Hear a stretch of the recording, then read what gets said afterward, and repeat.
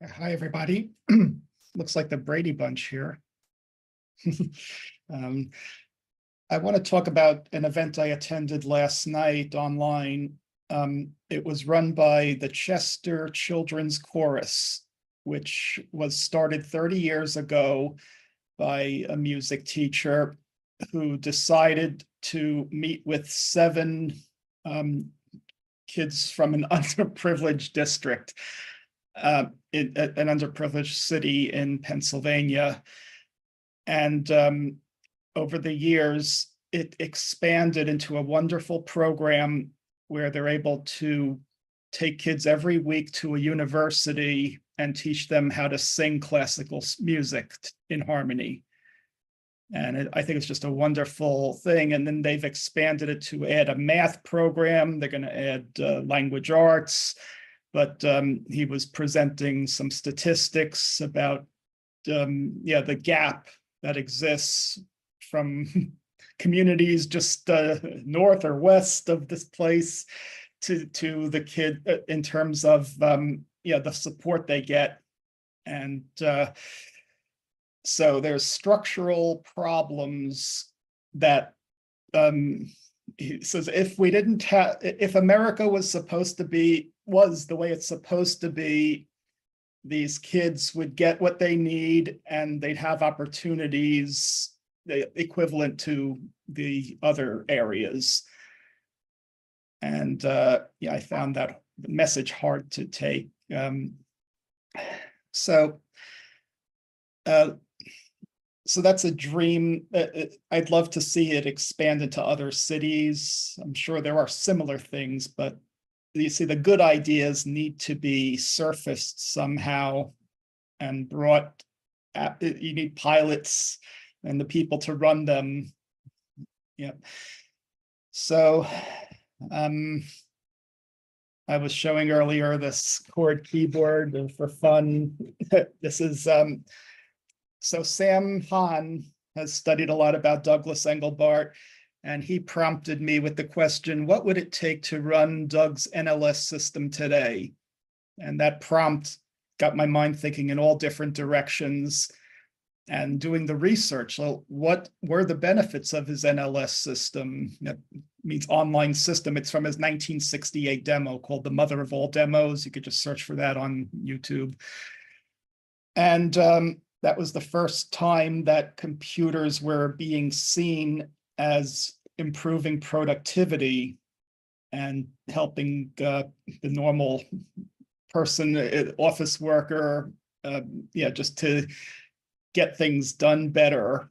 And his whole life was about improving processes and augmenting our intellect. And um, Yes, Sam Hahn said that at the end of his life, he still didn't think we had made enough progress. We'd made very little progress um, towards his goals, and maybe it's a, a little bit higher now, but still. Um, so what's getting me thinking, uh, yeah, I've looked at some of the research and um, it's possible to go through the code and see it, but uh, there's no on, well, uh, I don't think there is a way to get access to whatever became of NLS. Um, we're gonna see if Sam could find out more about that, but uh, taking the concepts forward, um, Christina Engelbart, his daughter, is uh, running the Douglas Engelbart Institute, and they have a demo called Hyperscope where you could play with it, and she's still working on expanding that. So it's funny how like things were put away, brought out, put away again, brought out. So there was like a 2006 project, and then this was like 2021 when this latest Hyperscope came out. So um, Sam's got me thinking about functional programming and uh, Datalog uh, for uh, database. Uh, so all these things are jumbled in my head, and I just figured I'd check in here, say hello to everybody. And good to see you all.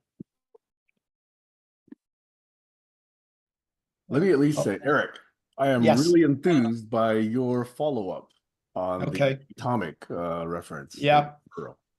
Yeah, I've been trying to learn on my own, uh, just exploring different paths, and I'm documenting the paths I'm taking in workflowy, so we could go through that. But uh, see, like, I'm wondering, like, would you be more like a mentor for me and guiding me, or it's like on my own, I could go in my own directions and uh, but see, it like what what I've felt is I've never practically seen the functional programming in action in a real company, or uh, I mean, I I know it's out there somewhere. I just haven't seen it used the way. I told you, or you probably come across the Nubank story. Right? Yeah, that I read about. hmm right. Which I think is already pretty impressive. And Oh, it. Many smaller companies, you know, that are leveraging. Uh, Yeah. Quora. So we- should we put all our money in Brazil now? If they'll take it, I probably would.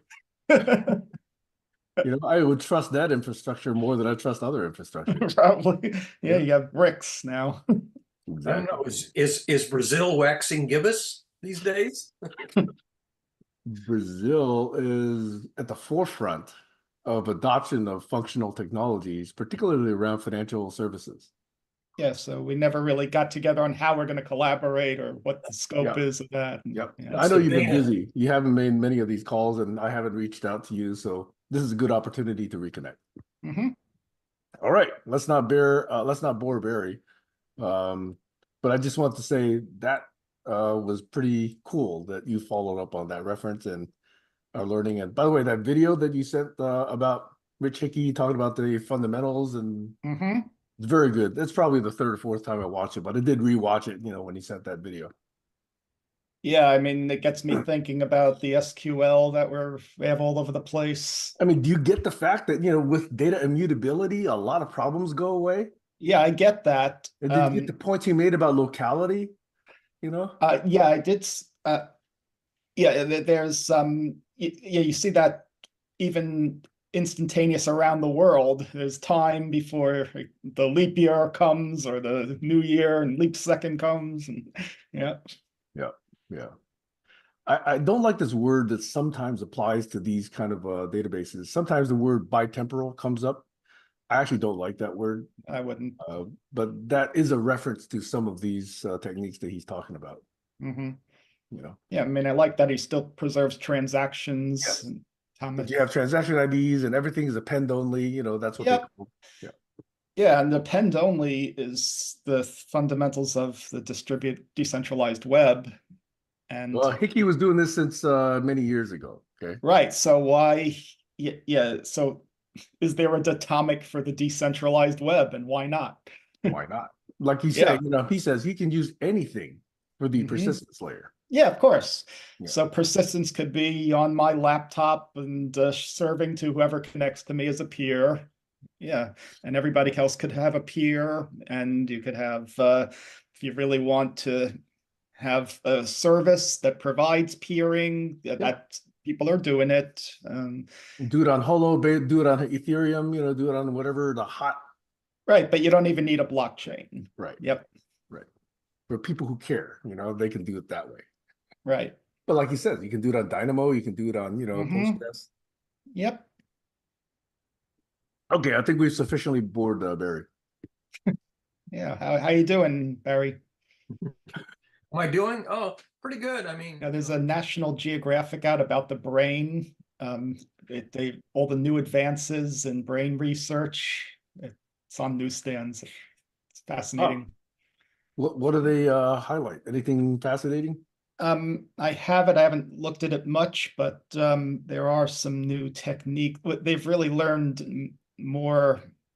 Um, well, I guess comparing it to neural nets, but also um, the ideas of localization of function that's out the window. It's really coordination of all Yeah, these parts. holographic uh, memory seems to be more the model, isn't it? Mhm.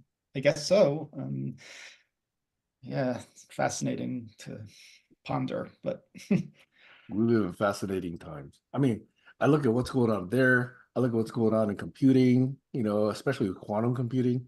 oh yeah. What's going on with JWST and all the stuff we're learning there about the disappearance now. It's essentially going to get obliterated, this whole Big Bang Theory thing, you know. Mhm.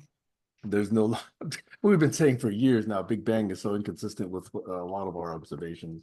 Yeah, well, even Hawking reversed himself on his uh, graduate paper. Yeah. Yeah, and even whether or not we can actually see anything around a black hole. Now, obviously, we have Hawking radiation, and you know we can see some of that.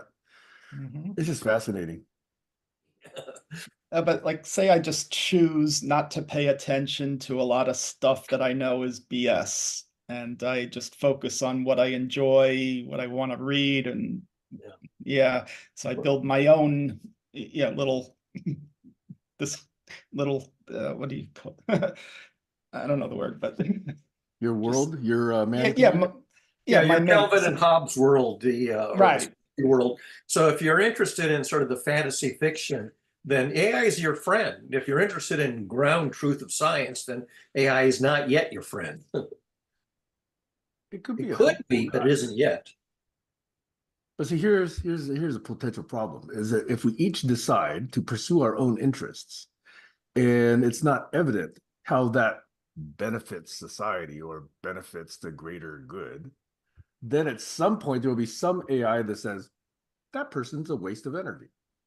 you know, that's not a that's not a hard conclusion to imagine. Well, is that the Right. Yeah, Matrix? They're not a net contributor to the welfare of the planet and the race and and whatever. But who's making those decisions about? Yeah, I don't know. Well, I mean, people, a lot of people are very judgmental just by nature. It's very hard to be non-judgmental. It's mm-hmm. considered to be a virtue to be non-judgmental, but it's not an easy virtue to achieve. Any ability to do if then is a discrimination of a sort. And Yeah. if you take that to an extreme, then that's judgment. Yeah. Is there any language that has fewer ambiguities? I believe Esperanto was a designed language, but I don't know it. So I don't know if it's more precise. Yeah. Now, But- we sent records on Voyager 1 and 2, and we tried to teach on the records a primer of our mathematics so they could s- find out where we are and using binary and the hydrogen atom spin as a unit of time. Yeah. Yeah, so. having- the- Mhm. Yeah. Having a message that only has one consistent interpretation, and that's not easy to do in English. It- Puns and and multiple interpretations are so commonplace in spoken languages, especially English. I think other languages maybe don't have it as big a problem as English with its importation of words from so many other languages and cultures. And so, such a rich use of metaphors and and uh, poetic terms. You know, it's So- hard enough given a language framework or backdrop or understanding to form a well-formed statement. But Yeah, well form it's formula. harder even in this case that uh, Eric talks about, where you don't have such a language framework and you're sending an artifact and you're expecting some intelligent entity to basically infer the language structure and the language framework and then to uh, you know ascribe meaning to what that artifact is trying to convey And they That's- have a lot of a work to double do. Yeah, they have a You see lot it- of work to do to do, to Yes. get to the message. You see a lot Not of that in that, he may have done a lousy job although carl Well, sagan's with- a brilliant guy Yeah, he did a good job, but he was rushed. Like, Yeah. so, You see a lot of that in headlines where the part of speech of word in a headline isn't obvious, whether it's a verb or a noun or an adjective, or how to, you know, how to diagram this, the, the sentence or the. often that's the phrase. intentional they want to go for puns too in these Yeah, and, and I look at headlines and after I read the article, oh, it's not what I thought the headline was saying. It's yeah kind of parse clickbait. it a different way. it's so can, can an LLM help here to bridge gaps between individuals and s- If you tell an LLM, I want a, a phrase that doesn't have ambiguous multiple meanings, Mhm. it can probably limit the likelihood that a word or phrase or sentence has multiple uh, plausible meanings. You know, that's actually one way you, I apply a heuristic to some text to see if an LLM pr- uh, produced it or not. Because if it's very precise about its pronoun references, about, you know, how it sequences statements and whatever, humans are not necessarily very good at that. They're terrible at it. Right. So if that is done well, more likely than not, it's done by some LLM. Yeah. In my opinion. So So I'm wondering, as an intermediary for communication, like say, I want to ask the LM, how do I explain this to a seven-year-old? And it gives me something, uh, yeah. So, so the, the every word is, is well known in a general vocabulary and doesn't have so many possible definitions that you're not sure what the person was saying. yeah. Yeah, Or you can and- preface it as using a fifth grade reading level, blah.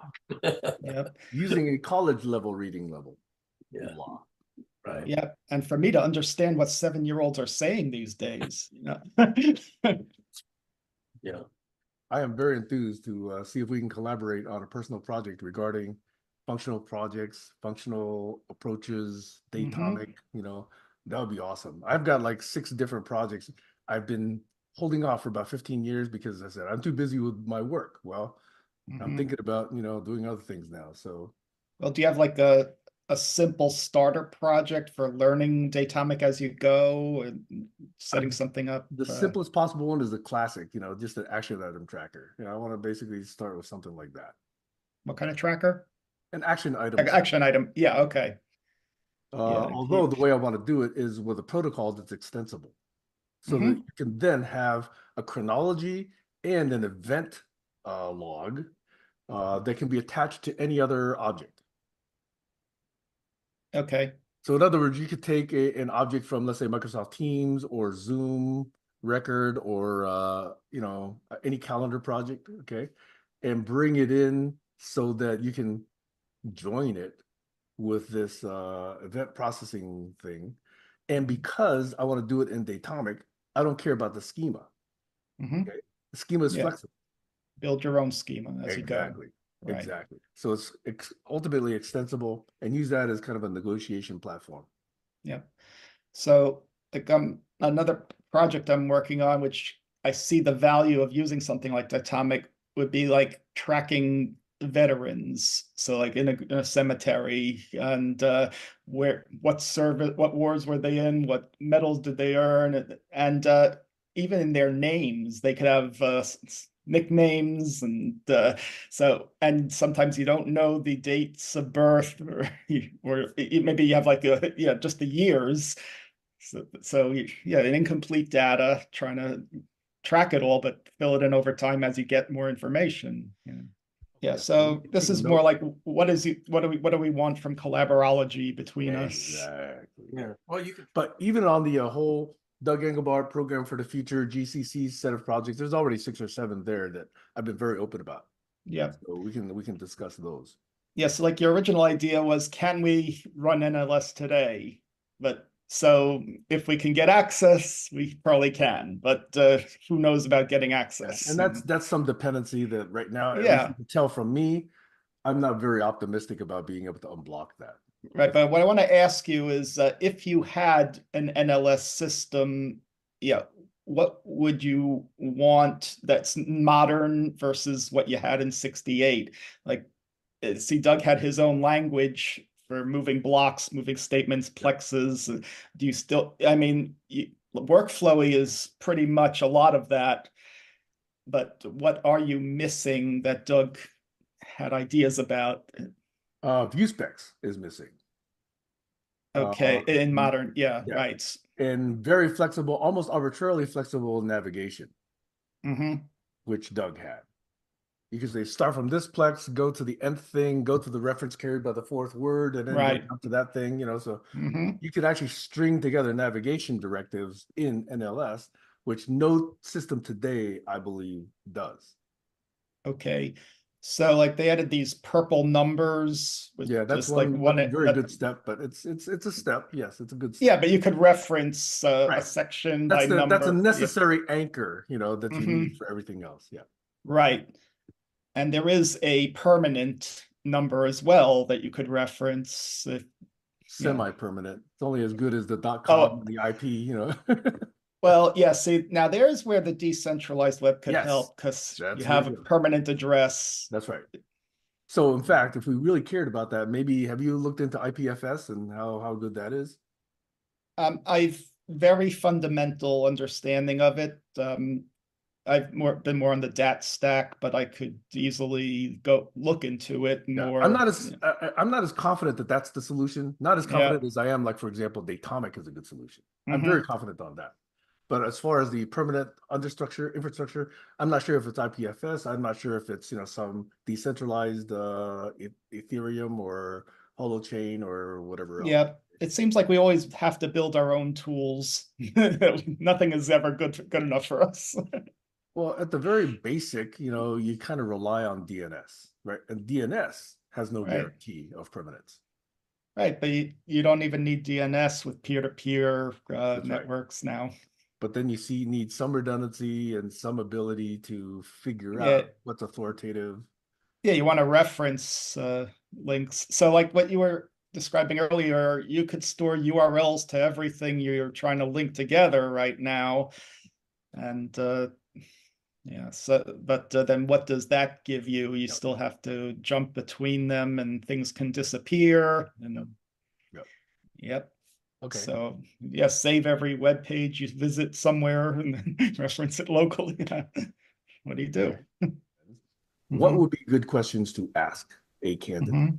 Well, Well, before I- you I- read them, I, I want to comment before reading them that Okay. in general, I'd want to understand the candidates, um, it, their, the, the historical background of the United States, like what is the United States as different from anyone else? And, uh, just, um, the, the fundamental principles, uh, like, how do they view the Constitution these days? Is it, uh, so, are these principles still in our, our collective consciousness? First, one, do you agree there is too much systemic racism throughout police forces in this country? Two, do you agree the ultra rich ought to pay more taxes? Three, do you think a felon should be able to run for any government office, let alone the presidency? Four, do you agree there ought to be universal health care as is offered in most other countries? Next, should churches be taxed if they take and encourage political positions? Next, can you unblock the trials of Trump charges actively being delayed by Trump appointees? Next, do you support abolition of the Electoral College? Next, how will you restore honesty, integrity, transparency, accountability in the fourth estate? Next, how will you work to repeal Citizens United? Next, do you believe women can take responsibility for their own bodies? Next, will you work to impeach and remove corrupt and unethical Supreme Court justices? Next, will you protect Social Security funds from being siphoned off for other purposes? Next, will you be transparent on your tax returns? Next, do you believe in the scientific method, critical thinking, evidence and logic-based decision making? Next, will you hold yourself accountable to a code of ethics or conduct? Ah, there it is, Barry. Will you hold yourself accountable to a code of ethics or conduct? If yes, how will you do so? And if not, why not? Next, did Trump instigate the 1 6, net January 6th insurrection? Next, are you going to let religion or any church influence your actions if you attain the office? That's my list of questions. One thing that I would add is, um, should the Seventeenth Amendment be repealed? And Uh, that would be, remind me what that one is. okay, that's, um, the Senate used to be appointed by the state legislatures, but, uh, they made it into, um, where we vote for senators. And, um, just going back to the structure of the country, the House is meant to be the people's representative and the states are meant to be represented in the Senate. And now if you, can you trust the judgment of the people? Or should it be more of a state function? Like what's been the impact of that since it passed? You, you mean going back to letting elected officials of the state appoint their senators as opposed to voting for them? Is that what you're saying? Right, yes, Okay, it never occurred to me that that was even something that people thought was a reasonable idea. Get going, going away from democracy and back to um, second order representation. The representatives elect the next level of representatives. It's sort of like appointment. And some, yeah, okay, I get it. I get- Yeah, it's just that like going back to the fundamental principles of what the role is, because these are these senators, they're doing treaties and uh I think the the roles have been mutated since. So that, that's my theory there. I think the issue there that you're referring to is this one about small groups of people in outlying counties and states having undue influence and power compared to dense population centers. I think that's how I read it.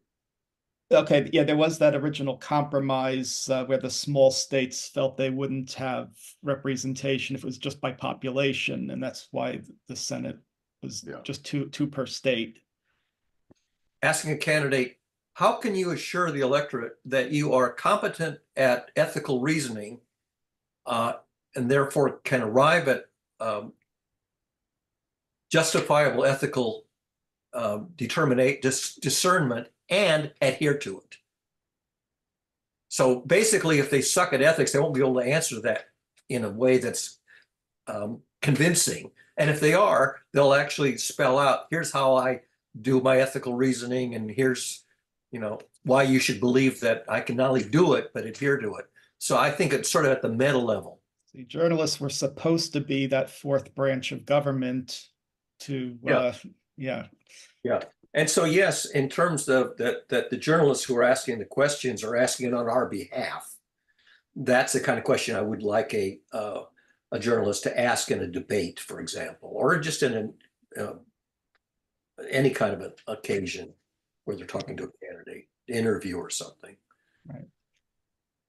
go ahead sam I years ago posted on Facebook that anytime we had a press conference, that every journalist, in fact, every attendee, ought to bring their own self-made uh, sign.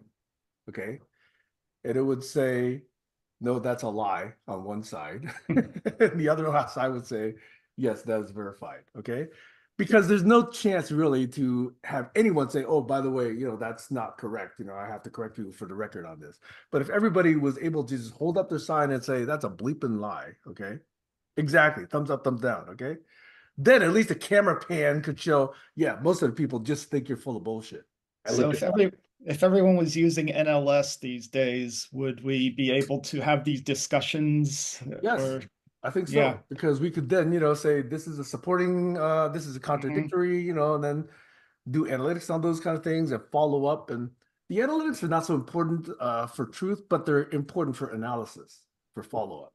yeah, I think you have to have the provenance of people's Yes, work Exactly, opinions. exactly. So you can see why somebody said something, which Mhm. is really important. Yeah, and linked to their that- biography. Where did they Exactly. grow up? Who did they, where did they go to school? And yeah, so you know who That's you're right. talking about. Yeah, that's that's really key because I see so many times in journalism, people say, I can't tell the truth. This person said that, that person said this. What? You can't understand reasoning. You can't understand how you follow that, you know, particular path of thought to get to this versus that. And No. you can see, well, that one's very well substantiated, and this, oh, that's just you know from uh, Alex Breitbart or whatever. uh, But you have whatever to, is. You also have to look at it in terms of the art of persuasion, how people are trying to persuade others to their viewpoint. I've got a cat on my keyboard. Yeah, wonderful. it's writing a novel, right? Yeah, Yep. yeah. I love this cat. This is like a Aw. like 26 pound uh, tatami. Oh, Yeah. Yeah. You know, yesterday I saw one of these YouTube shorts on the world's largest cat species. hmm Man, some of them get to be 30 whatever pounds. I thought this was a big cat already at 26 pounds. Yeah, some of them are lions. Yeah. But anyway, this one may have parts of Maine Coon. Yeah, see, I'm also wondering how effective would she be at getting her message out? Like, maybe it would RFK notice her? And does she need like a hundred thousand Facebook followers for him to take notice or something like that? It's a question of getting your voice heard these days. Yeah, I don't know those statistics. hmm Eric, please do uh, move on to whatever it is you wanted to bring up. Okay, I'm gonna share my desktop and flip over to um okay, I wanted to show Hyperscope, what they have online now. And uh, some of the features you could play with now. So like here is Doug's article and you can take out the blank lines if you want more real estate. You can Yep. turn off the purple numbers. And um, when you um, go into an X, you can expand the level. So B gives you one more level. Yep. So, okay, so these are view specs essentially, and they're codified up here. Now, see what I like about this is uh, this is a light mode. And then when you get comfortable with that, you go a light plus and you get some more features you could play with. Now, one thing that that really frustrates me these days is hitting a key and having the computer do something and I don't know what it did and I don't know how to undo it. So, eh, see, I think one theory that Doug may have had is that users should have the training in the fundamentals and then if they hit a wrong key, it should do nothing.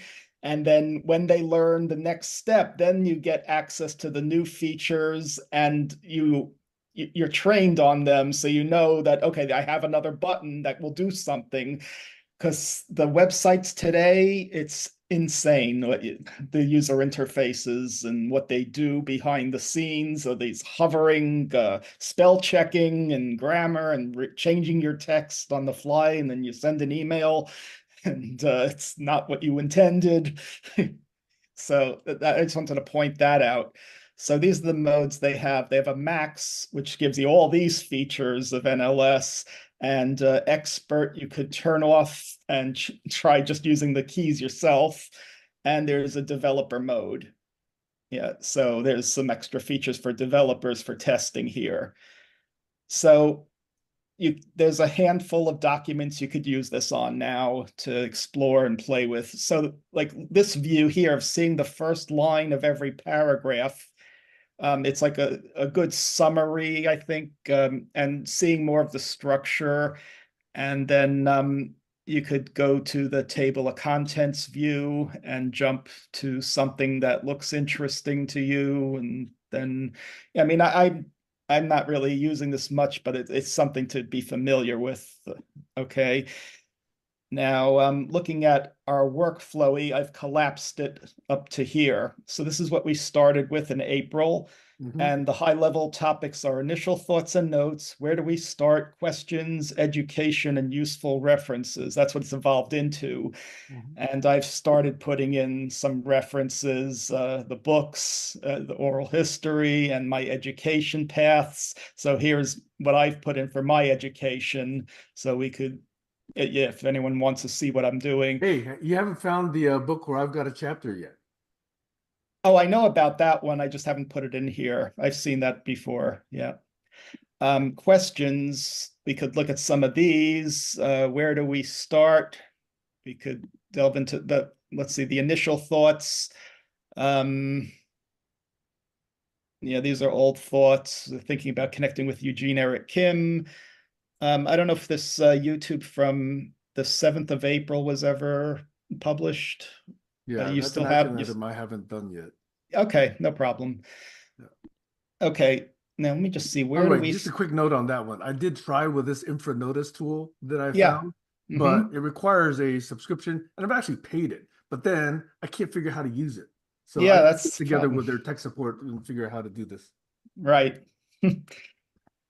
Okay, now let's see, we, we were thinking of where do we start? Well, there's ongoing research of previous NL, NLS systems, experiments. See, I've been experimenting. I got my uh, little keyboard key set working. All right. Uh, yeah, that, it works with the org term. Have you learned the uh the chords for all the letters? Yeah, I'm uh, getting better at it because I'm actually practicing with Barry's mud, like through navigating with the key set. Awesome. Yep. Okay, uh, we were thinking about desirements. Let's just see what we got here. Uh, yeah, I want to understand the speed that Doug had. We want strict separation of data. Uh, NLS style terminal editing with user determined commit points like git rebasing. What was I thinking? uh, let's see. Pull requests, uh, decentralized web, features not available today. So like you mentioned, view specs. Do we have more under that? Mhm. Oh, I was just making highlights from uh, some documents. Mhm. Yeah, okay. Um, Hey, Eric, Sid, while you're yeah. going through this, can you see how if each of these nodes was one of the triples in Datomic, hmm how that could be then you know constructed and uh, we would have just ultimate power over what was being done here. I just Yeah, your link, uh, uh, yeah, go, connection. yes, you're uh, expanding and collapsing. Yeah, so this expands, and this is a reference to computerhistory.org and another, yeah. Yeah, just some, I think these are both from that article. Mhm. Oh, yeah, so, yeah, workflow is nice, uh, with the, the. Yeah, because it's a modern interface to what Doug envisioned, sort of. Yes. Okay, yeah, does adding functionality to org term, we could always do that whenever we want. Mhm. Um, we never got to documentation about our collaboration. I have your nine artifacts. We never did a CCC, COI. So like, what would be the benefit of us doing a CCC? We could then see what we intend to do together Mhm. as individual statements. And then we would set up expectations, which hopefully will prevent or minimize disappointment later down the line. Right. So, yeah, I mean, uh, for me finding time for projects, uh, it's tricky, uh, work and uh, other social things and, but, uh, I think, um, I've got a handle on work right now. Um, I, like we're progressing forward and, uh, so, um, See, I'm not retired where I could just do this full time. Maybe one day I will be, but uh, I hope to be soon. yeah. Hmm. Yeah, Barry, how's retirement? Is it worth it? Uh, Oddly enough, I can't find enough things to fill up my time that are still You like within to learn my interest, Clojure. energy and cognitive faculties. Yep. In other words, Okay. there's- there are periods of boredom and loneliness where there's not enough to do that's doable and worth doing. Eric and I give you tasking. Well, I said to Anne Marie that she she could offload some thinking tasks that are still within my bailiwick, not too taxing and and not too urgent. Um, but but it's but my sphere of functionality is shrinking, Mm, and my energy levels and motivations levels are shrinking too. So it's getting Mhm. harder and harder to find worthwhile things that are worth doing. I have energy and and uh, interest to do. Okay. And the other thing we mentioned was the COI, practices of self and peer accountability, community of impact. Have I so given you a- that link? Um, I'm If sure I not, could it's find it. community of impact dot info. I should have put that in here. Okay, let me go there.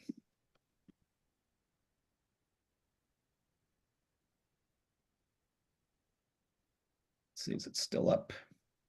I hope it's still up. Yes, it is. Okay. So deciding to commit to be good. Okay. Being explicit, transparent about what we want to accomplish, accountability, yep. Retrospectives. And you have your CCCs. Align your good and their good. Okay, that's it. And you have some comments. Yep. Okay. So. Yeah, so like. We could like think about things we could do together and help each other, but then if there's someone else who eventually comes in, yeah, think about that. Yeah, so. So two peers, so I'm accountable to Barry and Sam, right?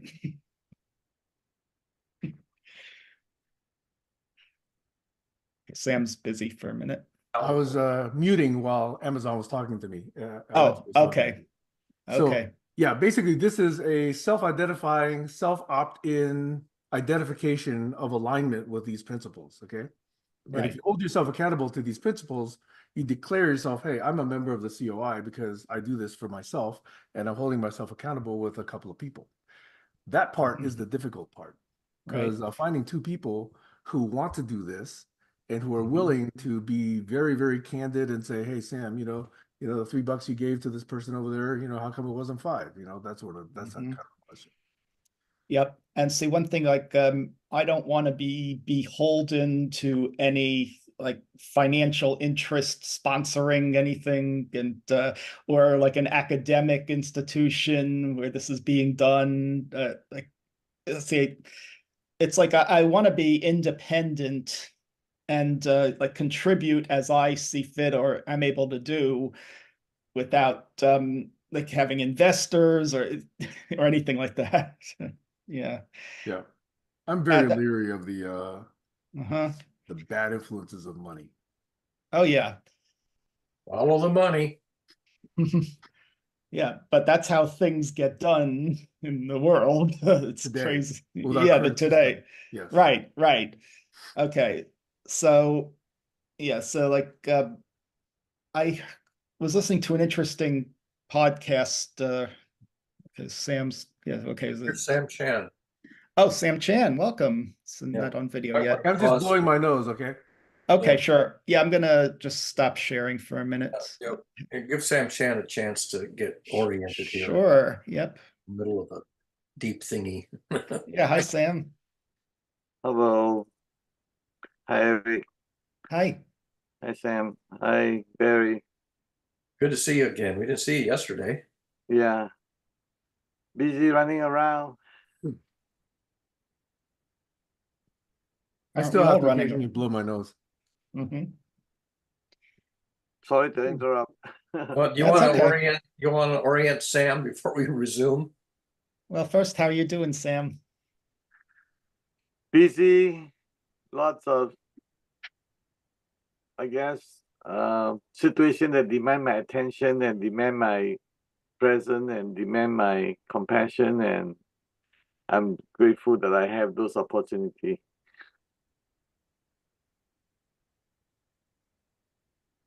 Yeah, the most severe one, I guess, the most is a older lady, 88 years old, found out the pancreas cancer, late stage, aggressive, in hospice care. She might probably go by the end of the month or something along that line. So I don't know how to deal with that. I'm learning as I go. Who is this? It's uh, my employee, one of my employees over, she's been working for me for over 20 years and don't have a lot of relatives in the neighborhood.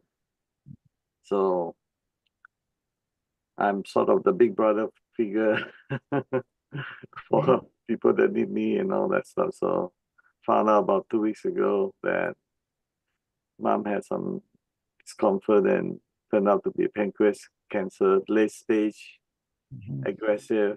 That goes pretty fast. Yeah, it goes pretty fast. So it's and she refused having treatment and uh which is a good thing. I mean, look, you can go suffer and go to chemo and and this the chance of recovering is less than two percent or something on that line. And it's pretty bad. It's just, you know, Yeah. the fluid is not even passing through the, Mm. the- I call it plumbing stuck.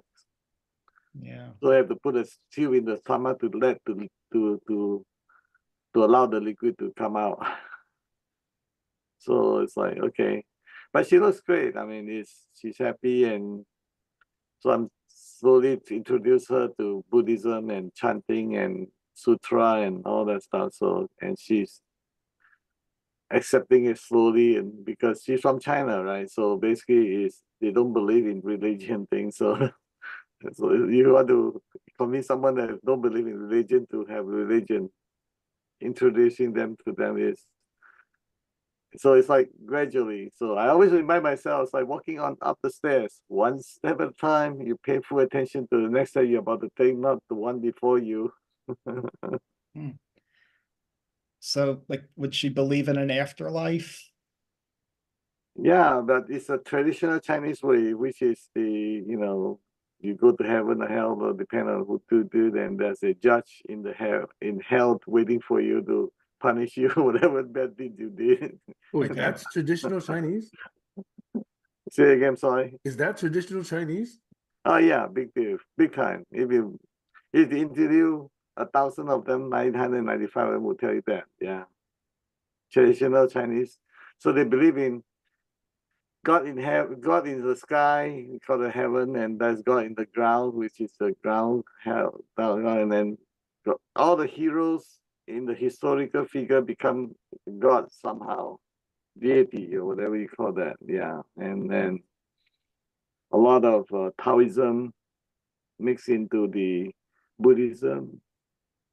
They believe whatever they believe that allow them to survive, allow them to get being killed by the emperor and the people in power and big bullies around in the town. And yeah, it's complicated. It's a long story, Yeah, but essentially, is is not in the you know, I say the religion in the Western and Eastern is very different.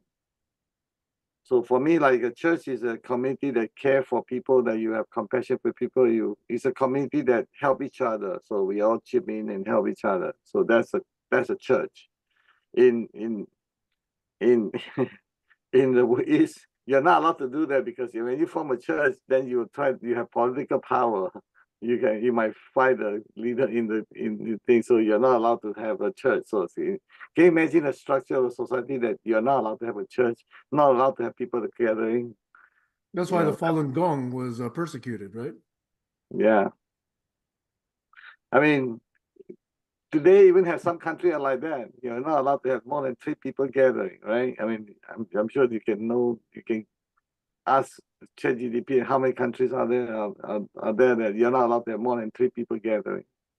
and we experienced that during COVID. Right of assembly is right there in the First Amendment of the U.S. Constitution. Yep. Freedom of assembly.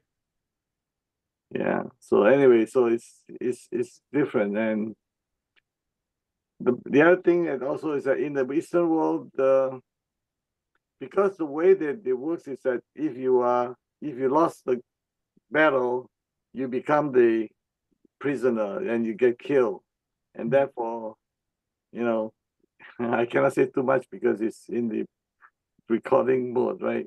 The bottom line is that if you know you're gonna get killed if you lost the battle, you you you you're more aggressive, you're more brutal, and you're more uh, whatever you call it. You you give everything you got to make sure the other person is dead. Think of that kind of uh, mentality. It's no longer that okay. It's your turn to become the king for four years, and I next it will be my son's turn to, and so we can't rotate between our family. It doesn't work that way. When my family lost, my whole family get wiped out. So if you think of that structure, where are you gonna find peace? I mean, in some way, it's almost like Israel in Palestine right now. It's like I want to make sure that you have no more military power. I want to make sure this, and it's it's yeah, it's it's messy when you don't have like okay, I'll I I'm it's like the best example is like you know how the Iran did something and then de- de- de-escalate. I mean, that's the best way to dissolve a war. You know, de-escalate. Unless and think about the this the escalation that we just saw not too long ago. What does it take for two party to de-escalate? About saving face, about losing face, about you got a political power you have to hold on to, you got to all that like unless eh, you know, everything have to go perfectly in anything that goes wrong, the escalation just got blown out. And there's a strong third party influence as well.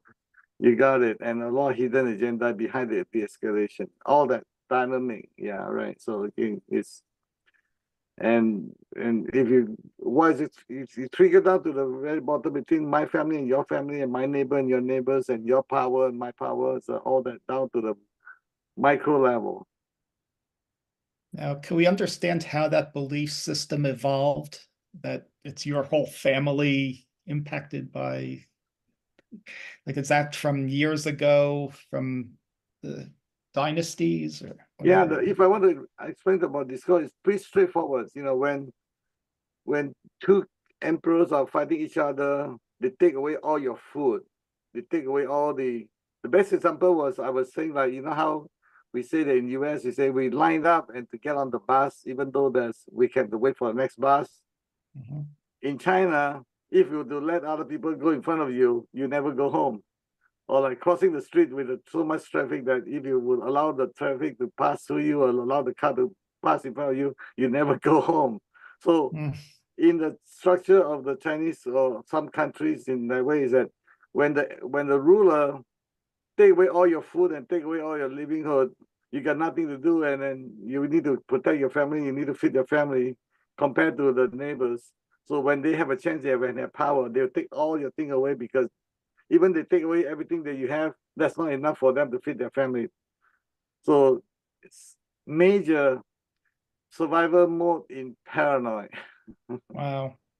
So how do you, as a father, you have three kids and they need to eat, they haven't eaten for two months, and now you have the opportunity, you have a knife that the other neighbor doesn't have a knife, and you, what are you gonna do? I mean, so that's how it become that. Oh, nothing, you know, violence in paranoid mode, yeah, it's. Yeah, now see, someone like me, I've never heard this before. I've Yeah. never heard this type of belief system or religion. And uh yeah, so yeah, like how would I relate to somebody who grew up like this? Yeah. And The same thing you're going through. like, Yeah. So think of this way again. It's like sort of your entire family had no food for, for a month. mhm. And now you have a gun, a machine gun in your hand. And the whole neighborhood, everybody have enough food to last half a day. What would you do? Yeah.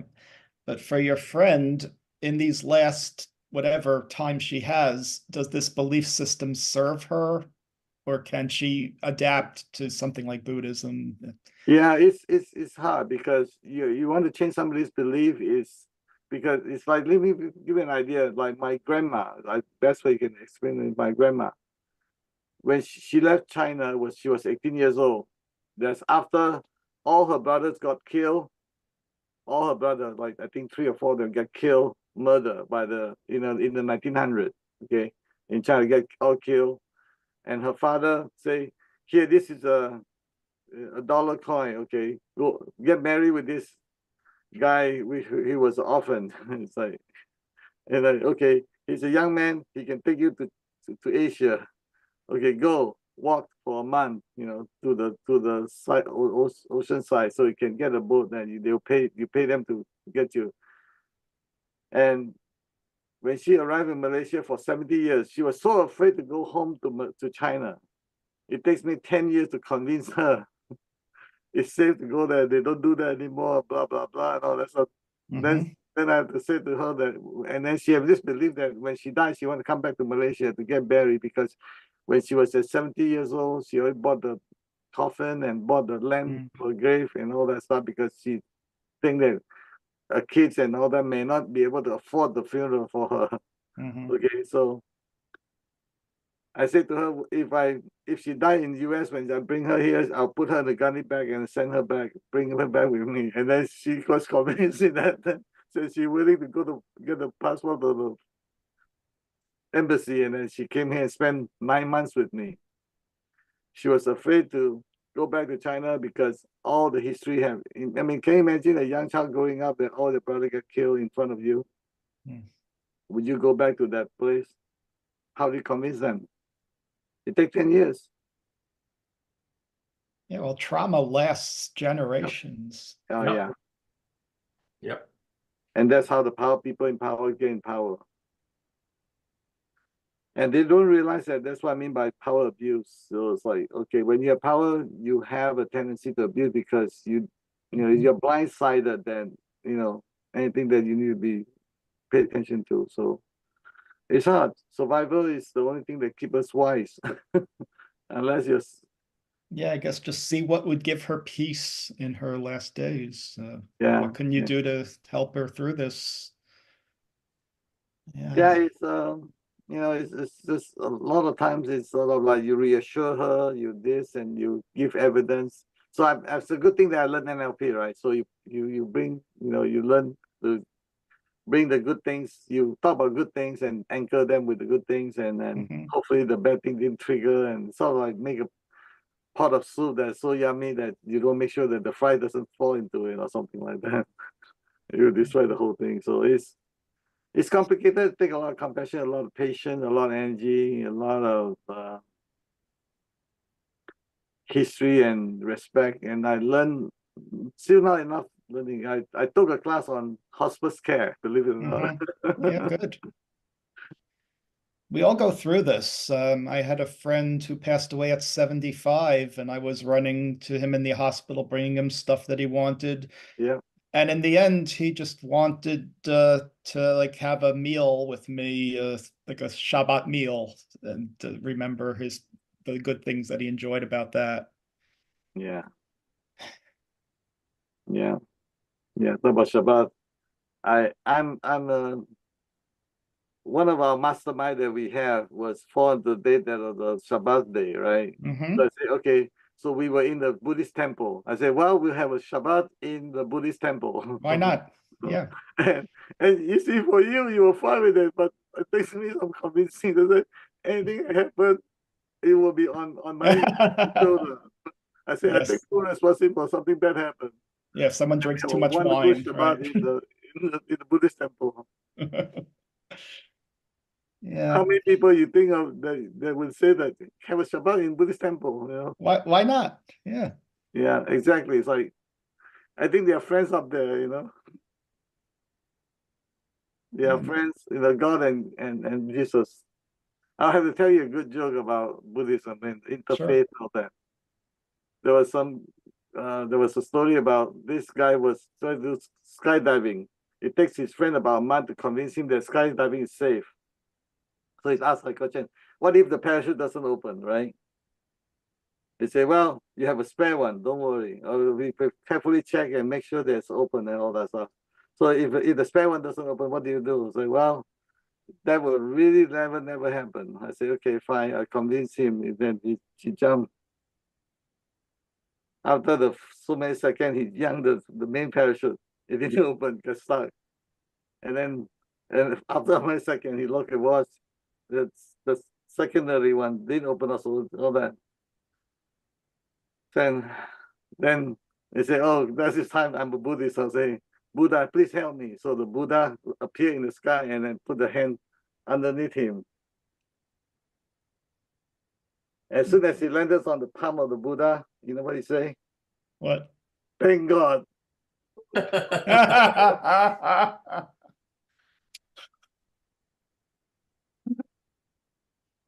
That's one of my favorite jokes in interfaith gathering. We always have a joke, always have fun with it. Yeah, it's like uh, following a logical syllogism to its conclusion. So, So I Yeah. hope you have fun with it. yeah, you can't have God and Buddha. G ampersand Yeah. not B. Yeah, a lot of times, you know, in a sad discussion, all that stuff, you know, I always bring joke and fun into so to diffuse the because Yep. this is all life about. Mhm. You know, I count how it's not how many times how many breaths you take, it's about how many times I catch your breath. Yeah, it's about connection. Yeah, go ahead, Sam. I don't think you were here, Sam, uh, maybe a week or two or three ago. But in one of those past sessions, the question I asked was there's so much war going on, there's so many war- wars being waged. Do we know what it means to wage peace?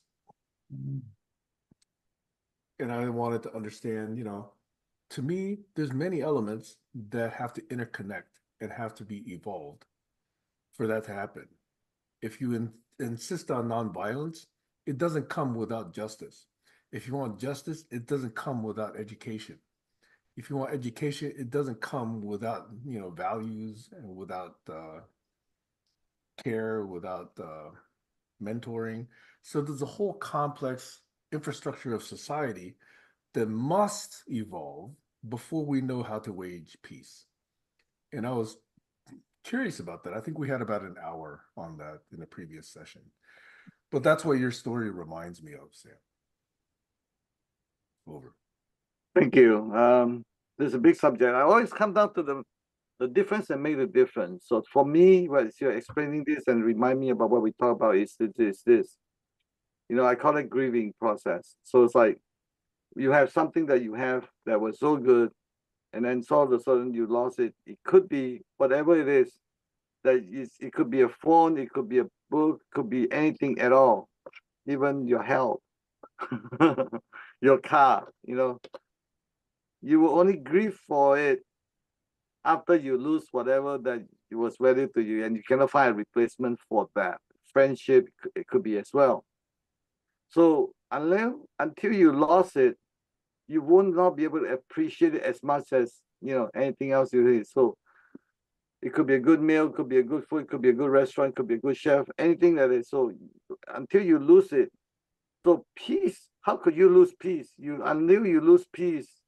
So in other words another way of saying is that you have to take someone that's in a peaceful country, put it into a war zone, let them live there for three months, and then you bring them back to the peace zone, then you will appreciate peace. I mean, the, I, I don't know how to explain it, but essentially this is all come down to until someone lose something, they won't really fully appreciate it. It's like my wife, you know, doing laundry for me, and when she's not around, I, I have no laundry. It's like, okay, honey, I but for me was laundry was in the background. I, I don't see it. I, I I don't I don't know. I, I I lost until I lost it. you know something along the same line. So the question is how do you create a structure? How do you create a situation where someone would lost the peace they had, and then now they would appreciate peace, and then they of course once you have, then they will fight for peace and all that stuff. This is another joke that we talk about in the UI you fight for peace, you know. Unless you fight for you won't have peace. It's like, okay, fine. So again, it's about how do you have a grieving, whatever that you need to grieve for before you can be something that's important to you, that you want it. But we all have lived through some of these periods. The world has not been devoid of war for almost any amount of time. But, But it doesn't affect you though. It does not affect you.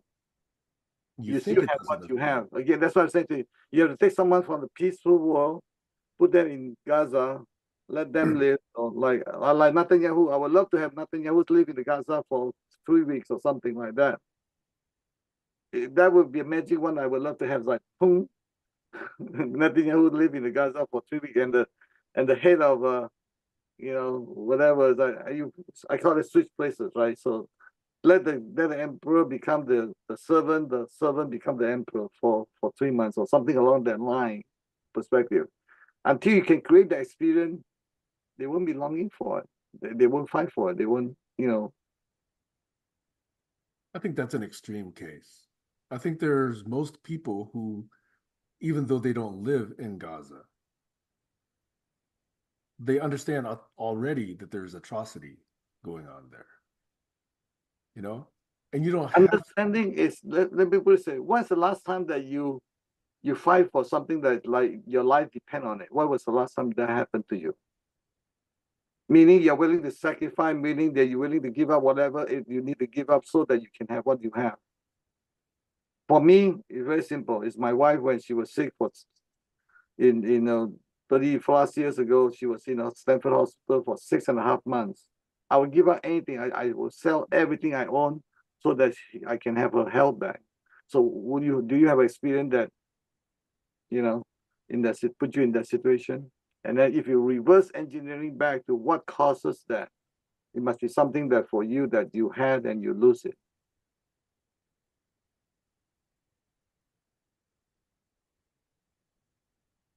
Uh, a few words on the soul. Hmm. We have a soul at times.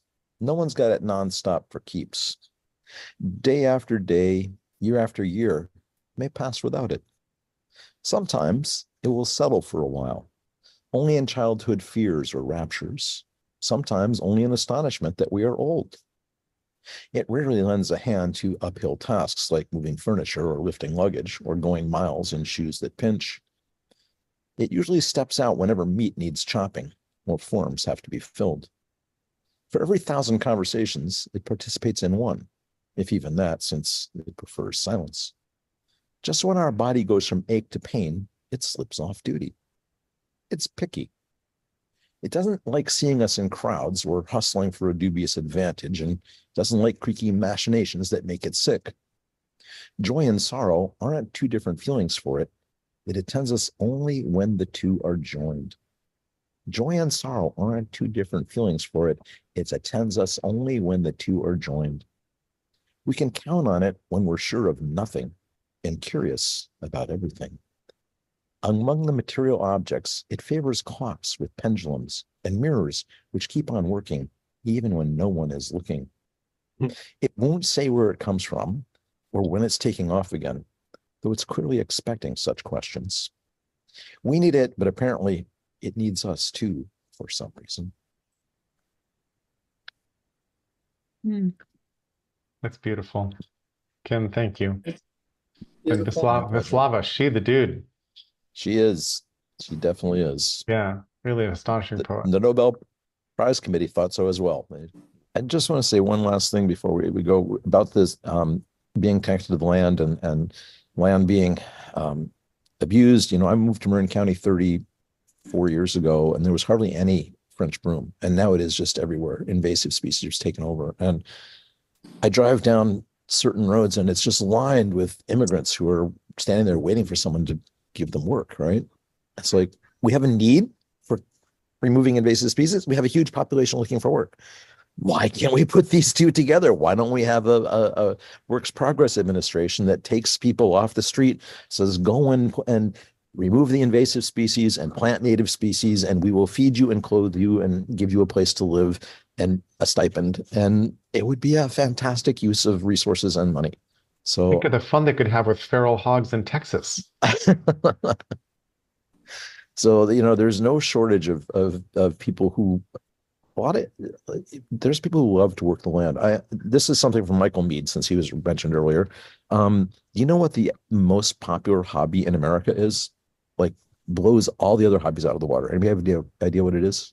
Knitting? Gar- Gardening.